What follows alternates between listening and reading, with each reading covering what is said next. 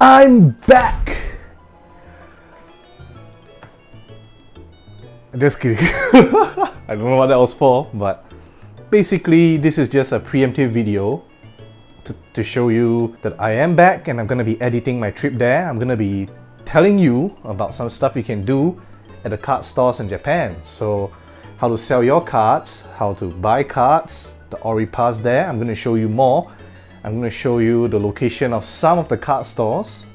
Not all because there's way too many. And like I mentioned, I'll be mentioning during the vlog, I was afflicted with a issue while I was there in which my inner thigh, so let's say this is your legs, on my leg, the inner thigh here, a lump grew. So that made me unable to walk or made it very painful for me to walk. So that's the reason why there were a few stores and a few regions in Tokyo Bay that I couldn't go to. So unfortunately, yeah. And like two, three days before I returned, I felt I got better.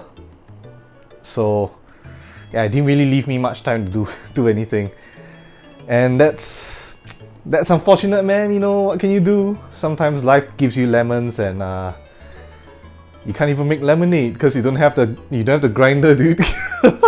So yeah I mean it's about it. I had some I did buy some stuff back. I went to some Oripas I, I wasted some money there. Do as I say not as I do.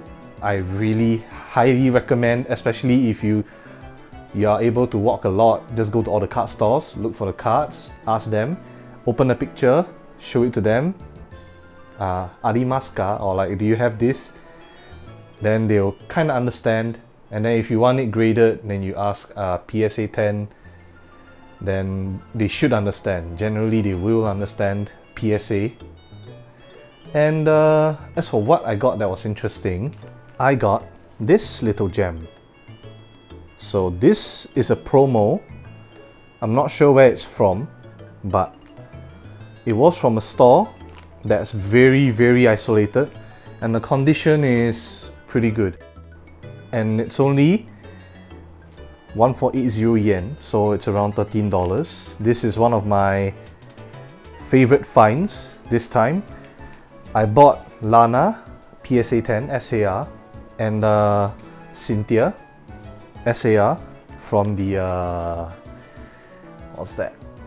Sun and Moon era Ultra Prism and I don't have it on me right now but yeah I got some of the uh, SARs from the Oripa. And I pulled some decent stuff. Put Kimono Lady and all that. I mean you will see once I once I edit it. I'm just here to tell you that I'm back we are gonna be playing more games Elden Ring, complete maybe, Wuthering Waves. I played a bit of Zenless Zone Zero and yeah, I mean, if you want me to make a video about that, then comment down below, but otherwise, I'm just back. Oh, oh, oh, one more thing. You can expect tutorials on how to play Gundam Arsenal Base. So what's that? Basically, it's a Pokemon Mezastar, but Gundam. The reason why Japanese people don't play computer games is because they have stuff like this. These are cards that you obtain from playing the Gundam Arsenal base. This is the peak rarity, P. Oh wait, that might be what it stands for. I was quite confused when I was making the videos. P. What does P stand for? I don't know. Parallel, because there's actually a normal version of this.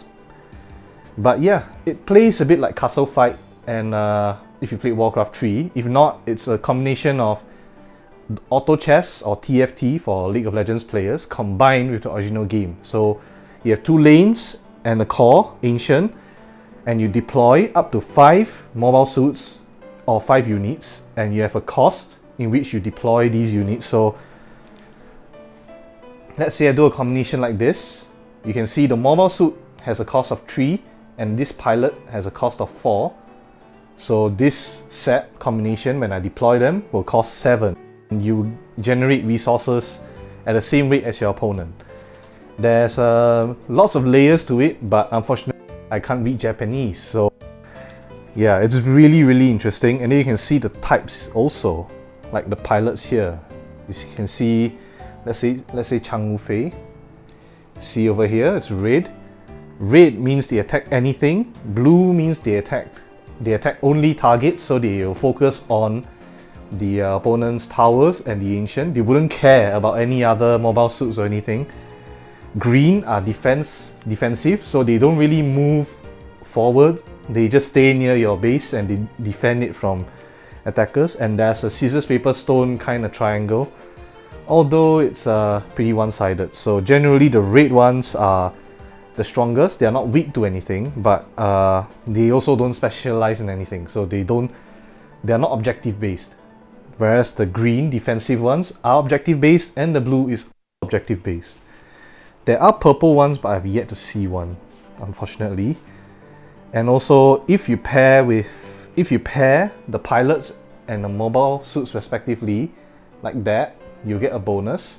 At the back, you can see these are the details and uh, the link ability activates when you get the pair. So technically you could put any pilot in any mobile suit and then it will still function but depending on the scenario you could forsake the link bonus.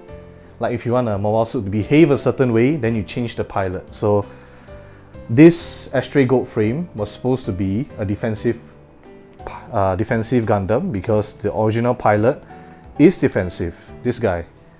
However, if I pair him with Trowa Barton from Gundam Wing, he's blue. So this makes this Gundam, which is a heavy artillery unit, offensive. He goes straight for the opponent's uh, towers and he deals massive damage. So in certain scenarios like that, it's quite interesting how you can like mix and match the units there. There's also Dragon Ball, but that's uh, I have a video for that, but I much prefer Gundam because this game is a lot more interesting. But yeah, I think that's about it for the updates. Sadly, a lot of my plans were impacted and uh, I was unable to, to do everything that I wanted to do, but you know what? We'll be going there again. I don't know when. End of year. And I'm also planning, because initially I wanted to go to Upper Japan up to Aomori, but if I go there in December and January, it's gonna be it's gonna be cold, and I don't know about that because I was thinking about it and like you know, what if if I drive halfway and then it starts freezing up and I'm like stuck and I don't know anything, I don't know what to do and I'm traveling alone. That would be crazy. And that will be a story, I guess, but I don't want to do that.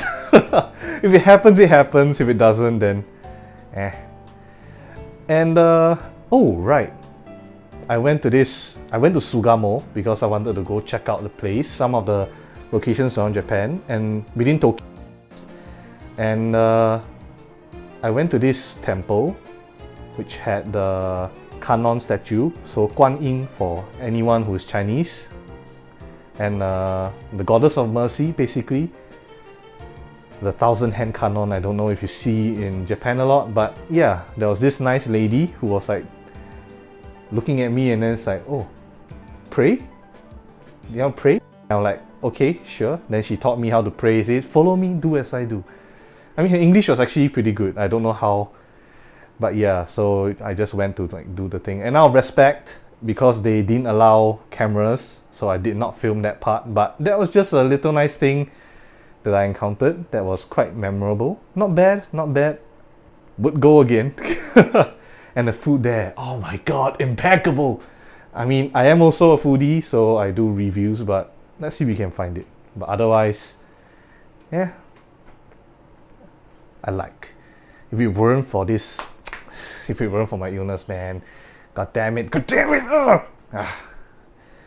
All right, bye for bye for real. I'll see you all next time and I'm gonna go edit stuff